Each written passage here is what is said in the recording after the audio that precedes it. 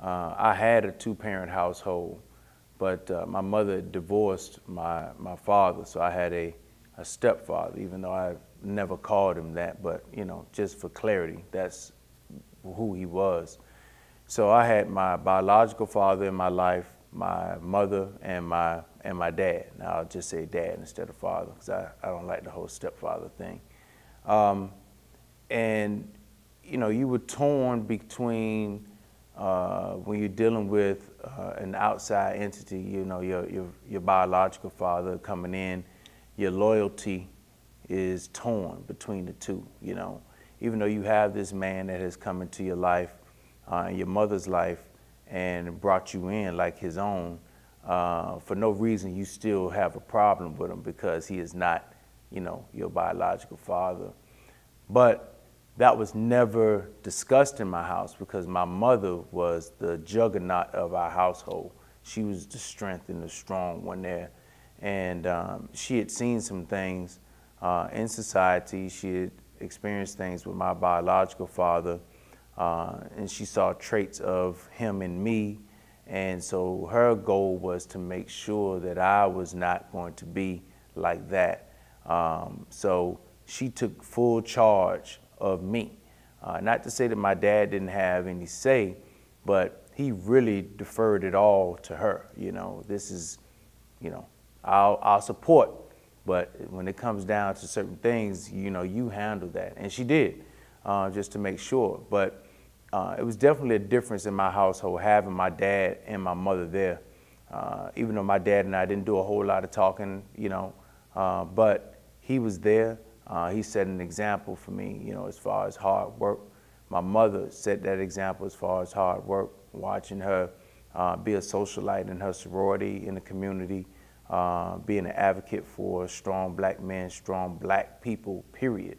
And uh, to see my father go through some of the things that he did, uh, he worked at, uh, I forget the name of the bank, but it was a bank he worked at. And I remember him coming home and listening to him saying that, you know, this is it. You know, I'm tired. Uh, I want to do something else.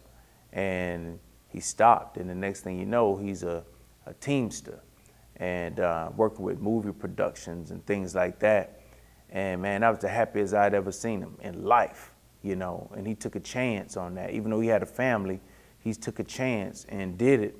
And uh, unbeknownst to me, uh, as I grew older, I had a career, uh, I had children, I had a wife.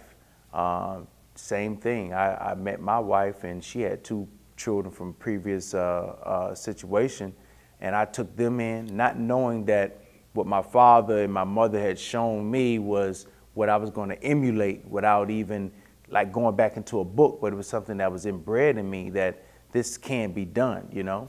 And um, it came to a point where I was dissatisfied with what I was doing. And I said, this is it, and I'm gonna step out and do something else. And again, not by my father telling me anything, but what he showed me you know, that you can go out and do something on your own and just open up your whole world to something different, you know. And when he did that, start to become a teamster, he was a better person. Uh, my mom was happier, you know, money was better, so I was, you know, we had better things and a better life, you know. So um, it was a two-parent household to answer your question, but um, you know, it was just, it was amazing, you know, the things that I learned, not by what I was being told, but what I was shown. You know, it was basically burned into me, and I didn't even know it until it was time for me to use it. And then I was able to come back as an adult and say, damn, okay, this is why I do this, you know? Hello, my name is Michael Anderson, producer with Heroes of a Thousand Faces. Thank you for taking the time to watch these motivating videos. Our hopes are that these videos will inspire you and young men in our community. Join the conversation. Follow us on social media and also on our website, 1000heroes.net.